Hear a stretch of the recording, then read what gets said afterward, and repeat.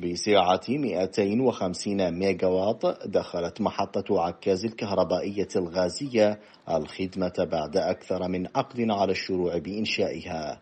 السلطات المحلية في المحافظة أكدت حل مشكلة الكهرباء بالنسبة لمناطق القائم والرمان والعبيد وبعض الأقضية القريبة منها استعدادا للصيف المقبل. عملية الربط مو هينة. مسافة 27 كيلو أنبوب يمتد عبر الوديان. تم القرار ثانيا بعد إكمال الأنبوب لازم ربط مكثفات والمهم.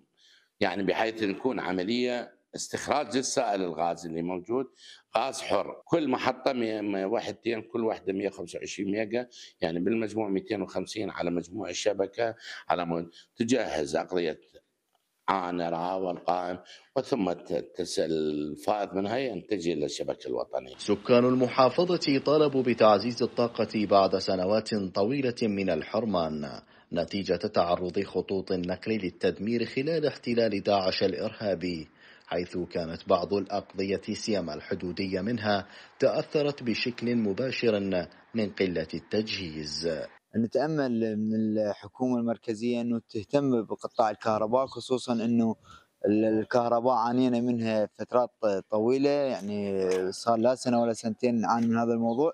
آه، تشغيل محطة عكاز أو محطة حراريه ببيت هذا راح يحد من قلة تجهيز الكهرباء ويصب بمصلحة المواطن. لاحظنا بهاي الأيام اشتغلت المحطة على على على حقل غاز عكاز وهاي نقطة كلش مهمة إنه إحنا اليوم ما راح نحتاج آه، آه، يعني ما راح نحتاج نشتري آه، مواد أولية أو نستخدم مواد من خارج العراق هو إحنا راح نعتمد تشغيل الطاقة الكهربائية على الغاز اللي موجود بنفس هذا الحقل. ويتحدث مراقبون عن ضرورة إنهاء ملف محطه هيت المركبه والحبانية اللتان تحلان مشكلة الطاقة بالمحافظة نهائيا وترك الاعتماد على خطوط النقل القديمة.